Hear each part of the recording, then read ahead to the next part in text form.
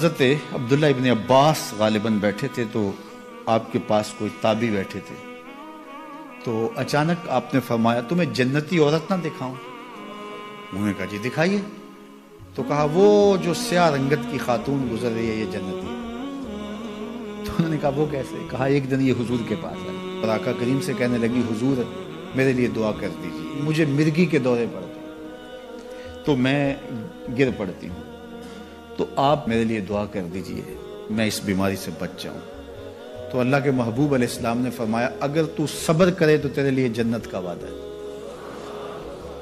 आप कहो तो मैं दुआ कर देता हूँ, तुम ठीक हो जाओगी। लेकिन अगर तुम सब्र करो तो जन्नत का वादा है। तो उसने कहा, ठीक है, मुझे मंजूर है। जन्नत वादा ठीक है। लेकिन जब मैं गिरती हूँ तो मेरा पर्दा खुल जाता है, औरत जात चलो ठीक है, बीमारी रहे, गिरूं भी। लेकिन इतनी दुआ तो कर दें कि पर्दा ना खुले। तो अल्लाह के महबूब ने फरमाया हाँ ये दुआ मैं कर देता हूँ।